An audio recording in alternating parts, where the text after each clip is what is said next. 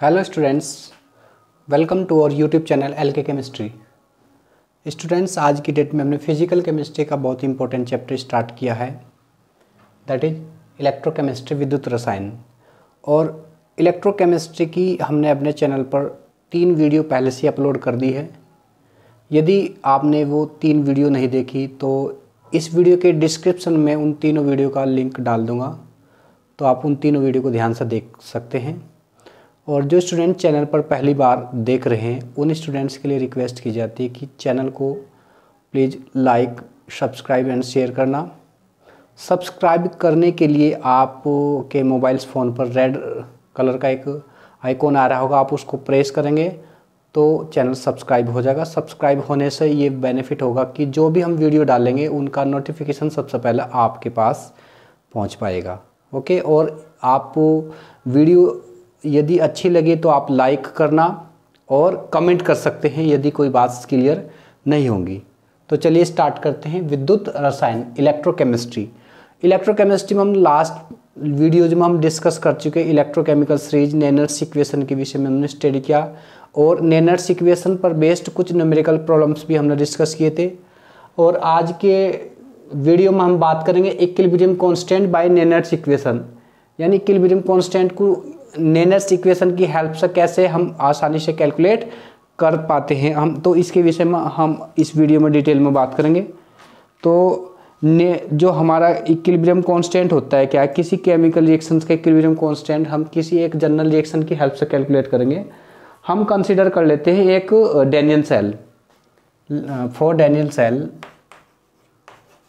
Daniell cell Daniell cell में क्या होता है हमारा? जिंक मेटल होता है और कॉपर मेटल होता है। Zinc metal plus copper plus चार two A cube equal to C U S plus Z N plus चार टू ए क्यूब क्लियर तो ये जो केमिकल रिएक्शंस होती है, ये रिप्रेजेंट करती है डेनियल सेल के लिए। क्लियर बात पर? अच्छा। जैसे जैसे टाइम इंक्रीज होगा जैसे टाइम इंक्रीज हो concentration of zinc ion as time increase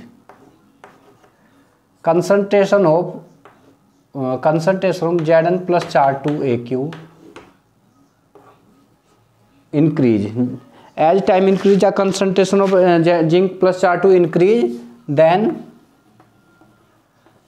concentration of C U plus चार टू डिक्रीज ये कंसंट्रेशन डिक्रीज जैसे जैसे टाइम इंक्रीज होगा, यानी ये कन्वर्ट किसमें होगा? जिंक आयन में। जैसे जैसे ये इसमें कन्वर्ट होगा तो कॉपर आयन कन्वर्ट किसमें होगा? कॉपर मेटल इट मीन्स इसकी कंसंट्रेशन क्या होगी? डिक्रीज होगी। एक की कंसंट्रेशन इंक्रीज होगी और एक की कंसंट्रेशन डिक्रीज होगी। तो after some time after some time कुछ समय बाद क्या होगा? दोनों की कंसंट्रेशन यानी zinc ion and copper ion, ये इक्वल हो जाएगी। दोनों की कंसंट्रेशन कैसी हो जाएगी? इक्वल हो जाएगी। जब दोनों की कंसंट्रेशन इक्वल हो जाएगी तो उस समय जो हमारा वोल्ट मीटर है, उसकी रीडिंग कितनी हो जाएगी? उस समय वोल्ट मीटर की रीडिंग कितनी हो जाएगी? ज़ीरो हो जाएगी। वोल्ट मीटर की रीडिंग यानी ई सेल की वैल्यू कितनी आ जाएगी उस समय? ई सेल इजिकल टू हो जाएगा ज़ीरो क्लियर बात? तो अब हम इसको, मैं इस नैनर सिक्वेशन अप्लाई करेंगे इस पर्टिकुलर रिएक्शंस के लिए। तो क्या होगा? E cell equal to E nought cell E nought cell minus two point three zero three upon two F log ten base zinc ion concentration upon copper ion concentration zinc ion upon copper ion plus चार two concentration. Clear बात? This one और जैसे ये concentration दोनों equal होगी, zinc और copper ion की concentration equal होगी तो ई सेल की वैल्यू कितनी होगी? ज़ीरो होगी। ई सेल की प्लेस हम पुट कर देंगे zero zero is equal to E nought cell minus two point three zero three upon two F two F और हमारा जो लोग होगा लोग जिंक प्लस चार two concentration upon C U plus चार two concentration इसको हम equal equate कर देंगे। तो E nought cell equal to आ जाएगा हमारा। यहाँ पर वैल्यू पुट करेंगे हम तो ये to point three zero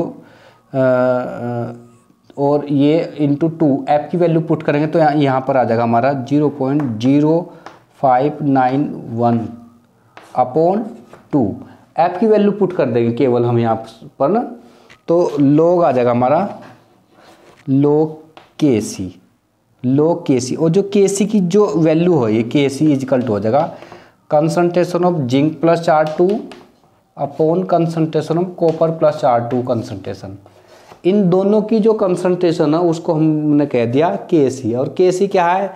that is equilibrium constant के सी क्या है यहाँ पर? इक्विलिब्रियम कांस्टेंट इक्विलिब्रियम कांस्टेंट के सी क्या हमारा? इक्विलिब्रियम कांस्टेंट इसको थोड़ा सा हम इधर रिप्रेजेंट करते हैं। दिस वन तो E cell E nought cell equal to आ गया हमारा zero point zero five nine one upon two log K C जो के सी है that is equilibrium constant clear बात? अच्छा ई नोट सेल की वैल्यू हम volt meter की help से हम देख सकते हैं कि ई e नोट की वैल्यू कितनी आती है। ई e नोट की वैल्यू आएगी, ये आ जाएगी approx value 1.1 volt E nought cell equal to Agha 1.1 volt ये वैल्यू हम यहाँ पुट करेंगे तो 1.1 point one equal to zero point zero five nine upon two log of K C clear बात? अच्छा इसको हम अब सिंप्लीफाई करेंगे तो यहाँ से हम के सी की वैल्यू कैलकुलेट करेंगे। टू की मल्टीप्लाई हो जाएगी टू पॉइंट टू ये इसके अपोन में आ जाएगा। Upon zero point zero five nine one log of K C is equal to log of K C और log K C equal to इसको सोल्व करेंगे हम तो log K C equal to आ जाएगा thirty seven point two eight eight thirty seven point two eight eight clear या K C equal to आ जाएगा, हम इसको एंटी लॉग ले लेंगे। एंटी लॉग एंटी लॉग को thirty seven point two eight eight then K C equal to आ जाएगा हमारा के सी इजिकल टू आ जाएगा हमारा यहाँ sir two into ten to the power thirty seven two into ten to the power thirty seven तो ये हमारी के सी की वैल्यू यहाँ से आसानी से कैलकुलेट हो जाती है। और यदि ये तो हमने एक पर्टिकुलर रिएक्शंस के लिए लिया। अगर हम इसी को जनरल जनरलाइज करें in general in general generally अगर हम बात करेंगे तो E nought cell equal to आ जाएगा हमारा E nought cell equal to आ जाएगा zero point zero five zero point zero sorry इसको उसके टर्म में लिखेंगे two point three zero three upon N F upon N F log ten base K C ten base K सी तो ये हमारा एक general expression आया इक्विलिब्रियम कांस्टेंट का with the help of Nernst equation ये बहुत इंपॉर्टेंट है ये अगर फॉर्मूला हमको लर्न है तो इस फॉर्मूले की हेल्प से हम कोई भी न्यूमेरिकल आसानी से कैलकुलेट कर पाते हैं। अब इस फॉर्मूले बेस्ड एक न्यूमेरिकल हम डिस्कस करते हैं, इस फॉर्मूले बेस्ड न्यूमेरिकल किस तरह से वो देखना। देखो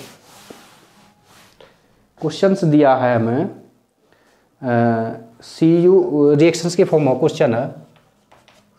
Copper solid plus copper solid plus two silver ion silver ion है?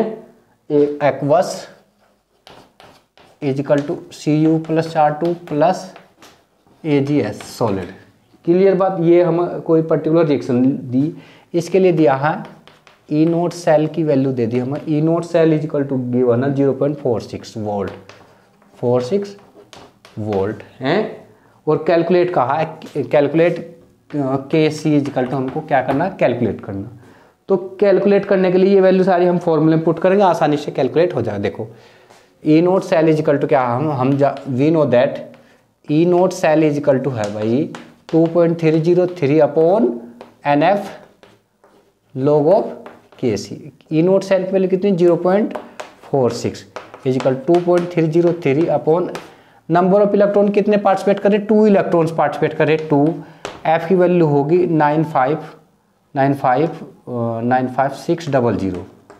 Clear? और लोग ऑफ़ के सी लोग ऑफ़ के सी तो लो, ये इसकी मल्टीप्लाई में आ जाएगा zero point four six into two into nine five six double zero upon two point three zero three equal to log of log of K C clear है? जब इसको हम सिंप्लीफाई करते हैं, इस पूरी वैल्यू को, इसको सिंप्लीफाई करने से आ जाएगा फिफ्टीन पॉइंट सिक्स कितना fifteen point six equal to log of K C या के सी इजिकल टू आ जाएगा antilog antilog of fifteen point six और के सी इजिकल टू आ जाएगा, इसका एंटी लॉगरिथम हम लेंगे तो वैल्यू आ जाएगी three point nine two three point nine two into ten to the power fifteen ये हमारा आंसर आता है। तो ये आ, है बहुत आसान अगर हमें ये फॉर्मूला लर्न फॉर्मूला लर्न कर लिया हमने तो डायरेक्ट फॉर्मूले में वैल्यू पुट कर दी और हमारा आंसर आसानी से आ पाता है। तो इस तरीके से हमको ये क्या करना है एक इक्विलिब्रियम कांस्टेंट पर बेस्ड पहले तो हमें एक डेरिवेशन ड्राइव करना है ये डेरिवेशन कैसा आया? और फिर इस डेरिवेशन पर बेस्ड न्यूमेरिकल प्रॉब्लम हमको प्रैक्टिस करने की ज़रूरत था ताकि हमारा इस पर बेस्ड कोई प्रॉब्लम ना छूट पाए। क्लियर है? अब नेक्स्ट टॉपिक हमारा Gibbs free energy for electrochemical cell Gibbs free energy for electrochemical cell उस पर हम एक डेरिवेशन के बारे में डिस्कस करेंगे और फिर उस पर भी बेस्ड एक प्रॉब्लम डिस्कस करेंगे। क्लियर तो हेडिंग है Gibbs free energy for Gibbs free energy Gibbs free energy for electro electrochemical, chemical cell. Clear बात? हेडिंग हमारे Gibbs free energy for electrochemical cell clear अब गिब्स फ्री एनर्जी जो क्या होते हैं? सबसे पहले गिब्स फ्री एनर्जी के बारे में होना चाहिए। हम जानते हैं थर्मोडाइंस में क्या होते हैं? जी इजिकल्ट होता है एच माइनस टी एस ये होते हैं गिब्स फ्री एनर्जी और एच क्या होते हैं? हेल्म वोल्टेज एनर्जी होते हैं। और हेल्म वोल्टेज एनर्जी क्या होती है? ई प्लस पी वी होता है। ई क्या हो? Internal energy plus pressure volume energy ये होते हैं गिब्स फ्री एनर्जी और गिब्स फ्री एनर्जी बेसिकली क्या होता है? Work done work done in one second is equal to the product of change applied and voltage of maximum work flow of change must be reversible work done is equal to the difference Gibbs मतलब work done जो होगा, किस system द्वारा? वो equal होगा, हमारा Gibbs free energy के equal होगा। हम सिस्टम के द्वारा वर्क डन कैसे कैलकुलेट करते हैं? तो इसके लिए एक जनरल एक्सप्रेशन है, वो आपको ध्यान रखने की ज़रूरत है। Delta R G. जी क्या Gibbs free? Delta R G is equal to होगा minus N F into E nought cell minus N F into E nought cell ये एक डेरिवेशन है। ये हमको ठीक से क्लियर होना चाहिए। अब हम कोई एग्जांपल सपोज़ डेनियल सेल का ले लेते हैं हैं? Zinc solid plus copper plus चार two A cube is equal to copper solid plus zinc plus चार टू ए क्यूब सपोज़ इसके लिए हमको निकालना हो तो डेल्टा आर जी की वैल्यू क्या होगी? डेल्टा आर जी एन की वैल्यू कितने? टू इलेक्ट्रॉन पार्टिसिपेट करे। टू एफ़ एफ़ की वैल्यू हम पुट कर देंगे। कितनी होती है? Nine nine five six double zero और ई नोट की वैल्यू इस फॉर्मूले की हम लास्ट नंबरिकल में बात करते ई नोट सेल की वैल्यू आ रही थी वन पॉइंट वन ये वैल्यू सब पुट करेंगे तो हमारा आसानी से इस आंसर आ जाएगा। क्लियर बात? अच्छा एक और Gibbs free energy also related as Gibbs free energy का एक फॉर्मूला और होता है। गिप्स फ्री एनर्जी का delta R G delta R G is equal to minus R T L N K minus minus R T L N K ये formula भी है। ये भी हमें लर्न करना। Delta R G is equal to minus R T L N K. R gas constant T absolute temperature. और ये के है, ये इक्विलिब्रियम कांस्टेंट होता है। यानी गिव्स फ्री एनर्जी का रिलेशन इसके साथ इस टाइप से होता है। क्लियर बात? तो इस तरह की जो भी प्रॉब्लम होगी, इस फॉर्मूले बेस्ड हम आसानी से कर सकते हैं। बसरते अगर हम, हमारा ये फॉर्मूला ठीक से लर्न है तो। क्लियर बात? अच्छा। एक एक प्रॉब्लम दे रखी इस पर बेस्ड वही प्रॉब्लम है डेनियन सेल के लिए। डेनियन सेल में ये किल्विन कांस्टेंट की वैल्यू हमको गिवन है। वैल्यू गैस कांस्टेंट की पुट करेंगे एब्सोल्यूट टेम्परेचर पुट करेंगे तो हमारा ये आंसर आ जाएगा। चलिए, अब हम इस चैप्टर का नेक्स्ट टॉपिक स्टार्ट करते हैं। That is very important topic that is battery क्या है? बैटरी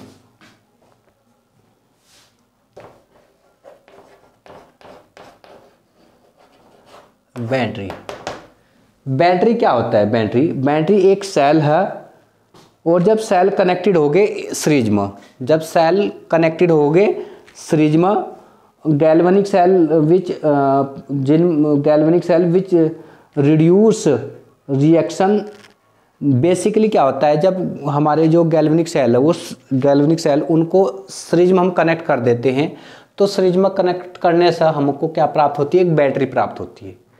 और बैटरी में क्या होता है? रिडोक्स रिएक्शन होते हैं और रिडोक्स रिएक्शन के बिहाफ पर हम एनर्जी अचीव करते हैं। और जो हम एनर्जी मिलती है, वो इलेक्ट्रिकल एनर्जी बेसिकली वो केमिकल एनर्जी का ही कन्वर्जन होता है इलेक्ट्रिकल एनर्जी में। तो हम इसको सिंपली कैसे डिफाइन करेंगे? Battery is a device which convert chemical energy into electrical energy with the help of the connecting of cell in series जब बहुत सारे सेल को सीरीज़ में हम जोड़ देते हैं तो एक डिवाइस बनती है, उस डिवाइस को बोलते हैं हम बैटरी। बात समझ आ रही ना? तो और बैटरी का बेसिक कंसेप्ट क्या है? वही जो सेल का होता है हमारा, क्या? केमिकल एनर्जी का इलेक्ट्रिकल एनर्जी में कन्वर्जन लेकिन इसमें कंडीशन क्या? बहुत सारे जो हमारे सेल्स होते हैं, उनको सीरीज़ में कनेक्ट कनेक्ट करते हैं तो हमें बैटरी प्राप्त होती है। और ये बैटरी हमारे दो प्रकार के होते हैं, एक प्राइमरी बैटरी होती है, एक सेकेंडरी बैटरी होती है। क्लियर बात? जो हमारी प्राइमरी बैटरी होती है प्राइमरी बैटरी बेसिकली क्या होती है? इसको केवल हम एक बार यूज़ करते हैं। प्राइमरी बैटरी को केवल एक बार यूज़ करते हैं। एक बार यूज़ करने के बाद फिर इसको फेंक देते हैं, क्योंकि ये चार्ज नहीं हो सकती। एक बार रिएक्शंस पॉसिबल होते हैं, दूसरी बार वो रिएक्शन प्रोसीड नहीं होती। उस केस में क्या हो जाता है? वो बेकार हो जाते हैं। जो हमारे वाच होते हैं ट्रांजिस्टर्स होते हैं ओके इनके अंदर जो भी बैटरी यूज़ होती है, वो प्राइमरी बैटरी होती है। और प्राइमरी बैटरी का जो बेसिक कंसेप्ट क्या होता है, उसको थोड़ा सा आसानी से समझते हैं। उसमें बेसिकली क्या होता है? एक इलेक्ट्रोड होता है, ये इलेक्ट्रोड होता है। ध्यान समझ लेना। ये कोई इलेक्ट्रोड ले लिया हमने। और मैंने सपोज़ ये ग्रेफाइट का इलेक्ट्रोड ले लिया। किसका ले लिया? ग्रेफाइट ग्रेफाइट का इलेक्ट्रोड ले लिया। अब इस इलेक्ट्रोड के चारों साइड में हमने क्या कर दिया? किसी केमिकल का लेप कर दिया। किसी केमिकल क्या कर दिया? लेप कर दिया। दिस वन ये। दिस वन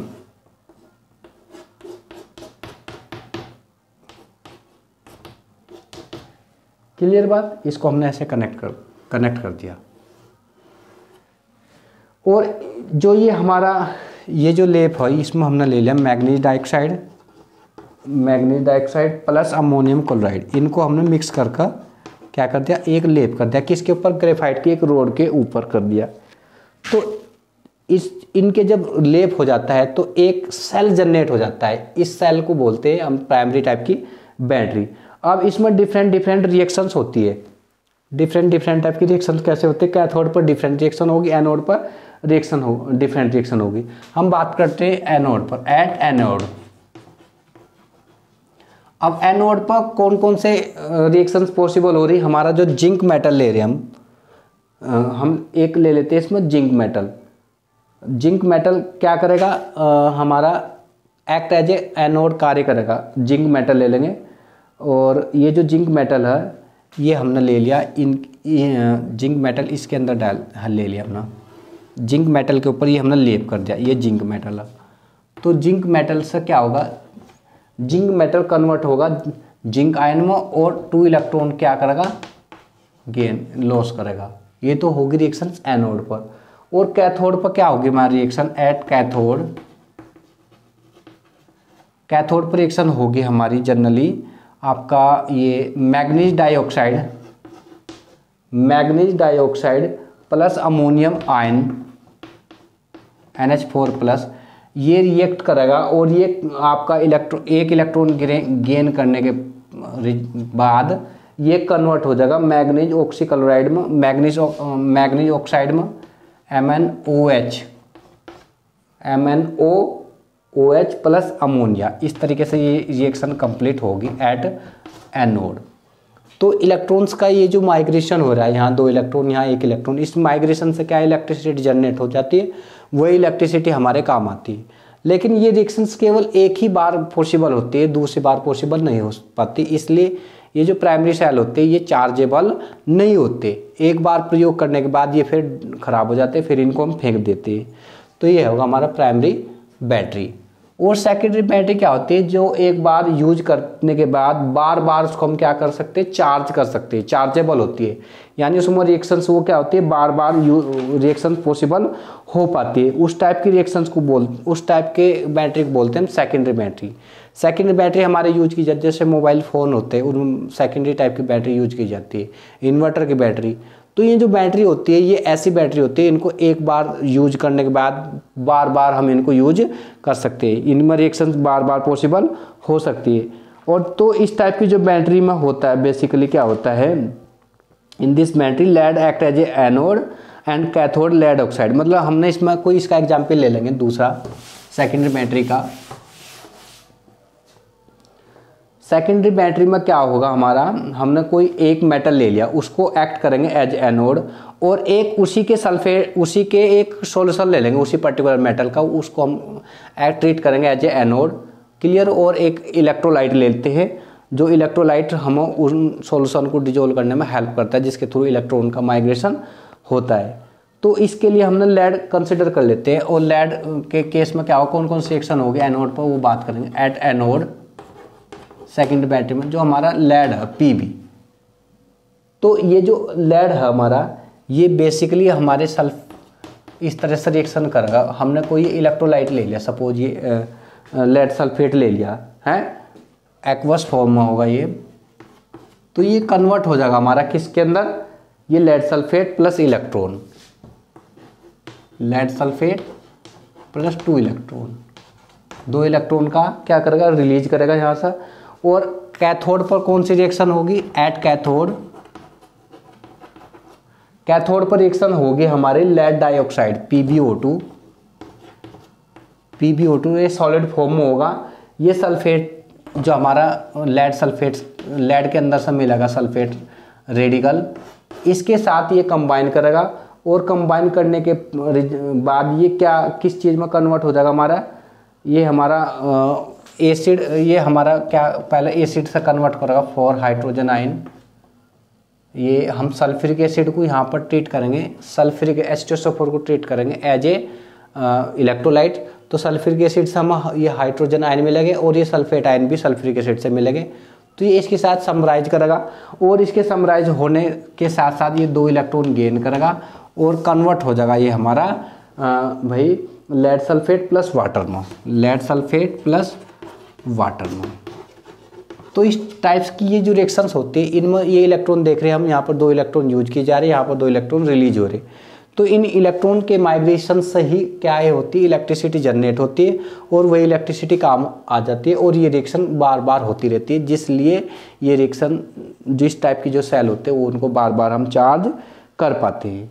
तो ये टॉपिक हमारे लिए बहुत इंपॉर्टेंट है, अब आसानी से आप इसको अटैम्प्ट कर सकते हैं। अब एक टॉपिक और रहता है, इसमें फ्यूल सेल उसके बारे में हम बात करेंगे। फ्यूल सेल ईंधन सेल फ्यूल सेल ईंधन सेल बड़ा सेलेक्टेड टॉपिक है, छोटा सा टॉपिक है। फ्यूल सेल में क्या होता है? It is a device which convert energy produce during the combustion of the fuel like hydrogen methane etcetera directly into the electrical energy for example hydrogen oxygen fuel cell this is use as a primary source of the electronic energy electrical energy मतलब क्या है? Fuel cell एक ऐसी device होती है जिसमें convert होती है, जिसमें कन्वर्ट होती है एनर्जी और जो प्रोड्यूस होती है by the combustion by the combustion of the fuel cell like जैसे मीथेन है। मीथेन, हाइड्रोजन गैस है, इनको जब बर्न करते हैं, इनके थ्रू जो एनर्जी प्रोड्यूस होती है, बर्निंग एनर्जी तो जो वो बर्निंग एनर्जी होती है, उस बर्निंग एनर्जी कन्वर्ट किया जाए इलेक्ट्रिकल एनर्जी में। उस बर्निंग एनर्जी को कन्वर्ट किया जाएगा इलेक्ट्रिकल एनर्जी में, उस टाइप की डिवाइस को बोलते हैं फ्यूल सेल। मतलब आप ध्यान से समझो, जैसे मीथेन और हाइड्रोजन गैस है, ये यूज़ किए जाते हैं एज ए फ्यूल। तो इनके जैसे ये बर्न करते जलाते हैं इनको तो इनके बर्निंग से एक एनर्जी प्रोड्यूस होती है। उस एनर्जी को इलेक्ट्रिकल एनर्जी में कन्वर्ट जिस डिवाइस के थ्रू किया जाता है, उस डिवाइस को बोलते हैं फ्यूल सेल क्लियर बात?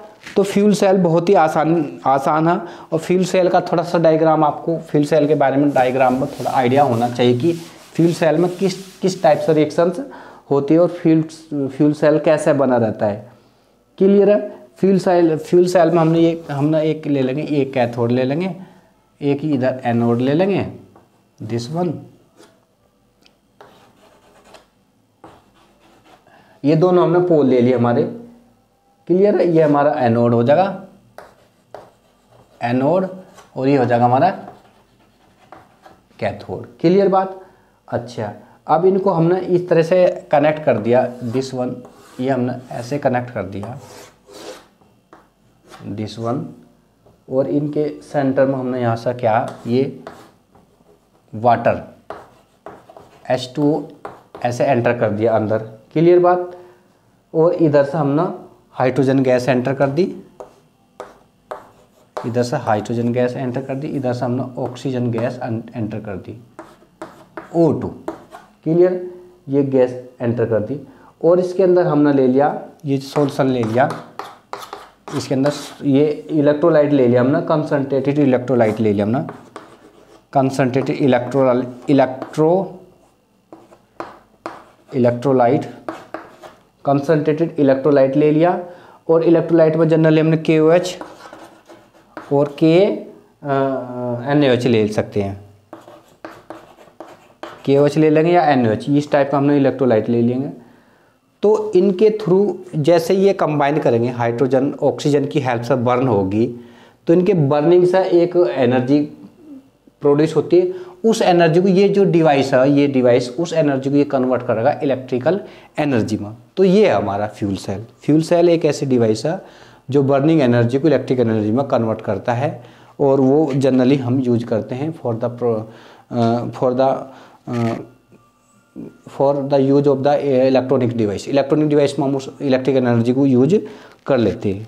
क्लियर बात? तो ये टॉपिक है हमारा। और लास्ट टॉपिक एक टॉपिक और है हमारा इस चैप्टर का। उसको भी डिस्कस कर लेते हैं। उस पर बेस्ट प्रॉब्लम बन जाती है कभी कभी तो हम उसको भी कंप्लीट कर लेते हैं। That is corrosion corrosion corrosion फ्लोरोजन इसको बोलते हैं हिंदी में संक्षारण। कोरोजन क्या है? The process of slowly eating away of a metal due to the attack of atmospheric gas on the surface of metal resulting in the formation of the compound such as oxide sulphide called corrosion मतलब क्या है? एक ऐसा process जिसमें किसी metal को slowly atmospheric pressure atmospheric pressure atmospheric oxygen के through metal को ईट किया जाए मेटल को मेटल को बर्न किया जाएगा बेसिकली कोई भी रिएक्टिव मेटल होगा जो फ्रीली इन्वायरमेंट में छोड़ देंगे तो इन्वायरमेंट की ऑक्सीजन और इन्वायरमेंट की मॉइस्चर के साथ रिएक्शन करने से क्या होगा? वो मेटल को ईट कर लगा मेटल को खा लगी वो, क्या? मॉइस्चर या ऑक्सीजन तो उस केस में क्या होगा? मेटल ऑक्साइड में कन्वर्ट हो जाएगा या सल्फाइड सल्फाइड में कन्वर्ट हो जाएगा। उस प्रोसेस को बोलते हैं कोरोजन और कोरोजन का जो एक सुटेबल एग्ज़ाम्पल है, वो उसको बोलते हैं रस्टिंग ऑफ़ आयरन जैसे आयरन है आयरन एक एक्टिव मेटल होता है। आयरन को जब हम फ्रीली मोस्ट इन्वायरमेंट में छोड़ देंगे तो आयरन पर वो आयरन के ऑक्साइड की एक परत चढ़ जाती है। तो वो ब्राउन कलर में कन्वर्ट हो जाता है। उसको बोलते हैं रस्ट जंग, यानी लोहे पर जंग का लगना। लोहे पर जंग का लगना एक रस्टिंग ऑफ़ आयरन कहलाता है, उसी को बोलते हैं कोरोजन तो कोरोजन से क्या इफ़ेक्ट डलता है? मेटल हमारे बर्न मेटल हमारे खराब हो जाते हैं, उनकी पावर कम हो जाती है। तो कोरोजन बहुत ही एक मेटल के लिए हार्मफुल होता है। क्लियर है? The common the most common example of corrosion is the rusting of iron the formation of rust on the basis of this theory may be explain as मतलब कैसे ये एक्ट कर लगा? बर्न किसी iron metal पर कैसे rust लग जाता है? उसका एक्सप्लेनेशन कैसे करते हैं? उसको ज़रा ध्यान समझ लेना। भाई, हम जानते हैं आयरन बहुत ही रिएक्टिव मेटल होता है। आयरन जैसे ही फ्रीली इन्वायरमेंट में छोड़ देंगे तो इन्वायरमेंट की जो आयरन इन्वायरमेंट की जो ऑक्सीजन है, उसके साथ ट्रीट करेगी। और उसके साथ ट्रीट करने से क्या होगा? उसके ऊपर आयरन के ऑक्साइड की एक परत चढ़ जाएगी। और जो आयरन के ऑक्साइड की जो परत चढ़ती है, वो उसको क्या कर देगी? उसको ईट कर दे उसको ख़त्म कर देती है धीरे धीरे क्लियर बात? क्योंकि आयरन बहुत ही रिएक्टिव मेटल होता है। आयरन कन्वर्ट हो जाता है जनरली किस्म। एफ़ ही मेटल कन्वर्ट होता है हमारा। फेरस आयन में प्लस टू इलेक्ट्रॉन इसमें कन्वर्ट हो जाता है फेरस आयन में। और जो ऑक्सीजन होती है हमारी, वाट इन्वायरमेंट के अंदर, ऑक्सीजन, ये मॉइस्चर के अंदर से जो हाइड्रोजन आयन होते हैं, उसके साथ ट्रीट कर कर ये कन्वर्ट कर देती है इलेक्ट्रॉन ग्रहण करने के बाद four electron is equal to two H two O इस टाइप से रिएक्शन होगी, ये वाटर के फोर मोलिक्यूल बनाएँगे। और जो ये आयरन मेटल जो हमारा ये है आयरन मेटल ये रिएक्ट करेगा किसके साथ? ऑक्सीजन के साथ. Plus four hydrogen ion hydrogen ion ये कहाँ से मिलते हैं? वो वाटर के वाटर से मिलते हैं. तो ये हमारा कन्वर्ट हो जाता है two F E plus R two फिर ये फेरस आयन में कन्वर्ट हो जाता है और वाटर ये जो फेरस आयन में कन्वर्ट हो जाता है तो यही बेसिकली क्या बन जाता है? इस पर एक ऑक्साइड की फॉर्म बन जाती है और ऑक्साइड की फॉर्म बनने से क्या हो जाता है? आयरन की ताकत कम हो जाती है. क्लियर इसको ज़रा ध्यान समझ लेना। जो भी रिएक्टिव मेटल्स होते हैं, वो इन्वायरमेंट में जैसे हम फ्रीली छोड़ देते हैं तो फ्री छोड़ने से क्या हो जाता है? इन्वायरमेंट्स की मॉइस्चर और ऑक्सीजन उसके साथ ट्रीट कर ऑक्साइड्स या सल्फाइड्स में बना देते हैं। इस प्रोसेस को बोलते हैं कोरोजन। और कोरोजन का एक सुटेबल एग्जांपल हमारा होता है रस्टिंग ऑफ़ आयरन और रस्टिंग ऑफ़ आयरन में क्या होता है? आयरन बहुत ही रिएक्टिव मेटल होता है। और आयरन मेटल जैसे मॉइस्चर में छोड़ते हैं तो इसके सरफेस पर क्या हो? ऑक्सीजन की एक परत चढ़ जाती है। तो ऑक्सीजन की जो परत चढ़ जाती है आयरन का ऑक्साइड कन्वर्ट हो जाता है। आयरन अपने ऑक्साइड में जैसे कन्वर्ट हो जाता है तो वो धीरे धीरे आयरन की पावर को कम करते चले जाते हैं और आयरन खत्म होता चले जाते हैं धीरे धीरे ठीक है? तो ये हमारे लिए बहुत हानि, हानिकारक होता है। तो अब इसके लिए कुछ फैक्टर्स है। फैक्टर प्रमोट कोरोजन कौन से फैक्टर ऐसे होते हैं जो कोरोजन को प्रमोट करते हैं? नंबर एक रिएक्टिविटी ऑफ़ मेटल्स मतलब जो मेटल जितने ज़्यादा रिएक्टिव होते हैं, वो उनके सरफेस पर उतनी जल्दी कोरोजन जनरेट हो जाता है। और जो कम रिएक्टिव मेटल्स होते हैं, उनके ऊपर कोरोजन का प्रभाव थोड़ा सा कम होता है। तो रिएक्टिविटी मेटल की क्या डायरेक्टली इफ़ेक्ट डालते हैं? कोर्जन को। जो मोर रिएक्टिव मेटल होते हैं, उनके ऊपर कोर्जन जल्दी आसानी से अटैक कर पाता है। दूसरा इम्प्योरिटी अगर किसी मेटल के अंदर इम्प्योरिटी प्रेजेंट होगी तो इम्प्योरिटी के उपस्थित होने की वजह से कोर्जन आसानी से अटैक कर सकता है। यानी कोर्जन का प्रोसेस हो, आसानी से हो सकता है। यानी वो मेटल अपने ऑक्साइड से सल्फाइड में आसानी से कन्वर्ट हो सकता है, यदि मेटल के अंदर इम्प्योरिटी प्रेजेंट हो तो। दूसरी बात एयर मॉइस्चर्स की। अगर एयर मॉइस्चर्स की मात्रा प्रचुर मात्रा में लार्ज अमाउंट में उपस्थित है इन्वायरमेंट में तो दोनों पैरामीटर ऐसे ही तो ऑक्सीजन भी और मॉइस्चर भी दोनों आसानी से अटैक कर सकते हैं मेटल पर। सपोज़ कहीं मॉइस्चर या ऑक्सीजन ही नहीं है तो वहाँ पर क्या होगा? कोर्जन की प्रोसेस नहीं आसानी से हो पाएगी। लेकिन अगर इनकी उपस्थिति हो तो कोर्जन आसानी से हो सकता है। क्लियर और एक है इलेक्ट्रोलाइट यदि इलेक्ट्रोलाइट प्रेजेंट है तो इलेक्ट्रोलाइट के प्रेजेंट होने से भी क्या हो जाता है? कोर्जन की प्रक्रिया आसानी से हो सकती है। तो ये कोर्जन का एक कंसेप्ट है। इस कोर्जन कंसेप्ट पर बेस प्रॉब्लम डिस्कस की जा सकती है। और कोर्जन को प्रोटेक्शन करने के लिए भी कुछ नियम है। कुछ रूलिंग है। कौन कौन से रूलिंग है कोर्जन को प्रोटेक्शन करने के लिए? नंबर एक। नंबर एक, कोर्जन को प्रोटेक्ट करने के लिए अवॉइड करना मॉइस्चर ऑन एयर एयर और मॉइस्चर से दूर रखने के लिए रख सकते हैं हम। यदि किसी भी रिएक्टिव मेटल को मॉइस्चर और ऑक्सीजन से दूर रखेंगे तो उस पर कोर्जन की प्रक्रिया नहीं हो पाएगी नंबर एक। यानी protection with by moisture and air एक बात। दूसरी बात, उस पर हम क्या कर देंगे? पेंट कर देते हैं। जैसे भी कोई भी मेटल ले लेंगे, उस पर हम जब पेंट कर देंगे किसी पॉलीमर का तो पेंट करने से क्या होगा? उस पर कोर्जन नहीं हो पाएगा। जंग नहीं लगने का, जंग नहीं लगने का मेटल सुरक्षित रहेगा। तीसरी बात क्या है लेस रिएक्टिव मेटल हम लेंगे, यदि लेस रिएक्टिव मेटल लेंगे तो उनके लेस रिएक्टिविटी होने की वजह से क्या होगा, उन पर वो अपने ऑक्साइड से सल्फाइड में कन्वर्ट नहीं हो पाएँगे। जब वो अपने सल्फाइड या ऑक्साइड में कन्वर्ट नहीं होंगे इट मीन्स उन पर कोर्जन नहीं हो पाने का तो ये कुछ पैरामीटर जिनके बिहार पर क्या होता है हम कोर्जन को प्रोटेक्ट कर सकते हैं। तो उम्मीद करता हूँ ये वीडियो आपके लिए बहुत ही लाभदायक सिद्ध रही होगी। यदि कोई बात समझ में नहीं आई, आप कमेंट कर सकते हैं। और यदि वीडियो वास्तव में अच्छी लगी तो प्लीज़ चैनल को लाइक सब्सक्राइब एंड शेयर करना। Thank you